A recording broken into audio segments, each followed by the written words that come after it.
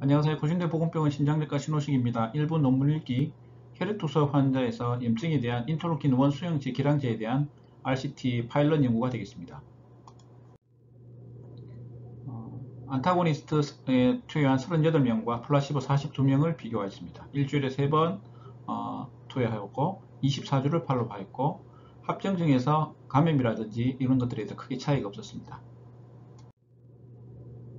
투석 환자에서 안타고니스트를 투여했을 때 감염이나 이런 것들 위험이 매우 낮았었고 향후 이 약제를 사용해서 CRP라든지 인터루킨 6에 대한 효과에 대한 연구가 지속될 것으로 생각됩니다.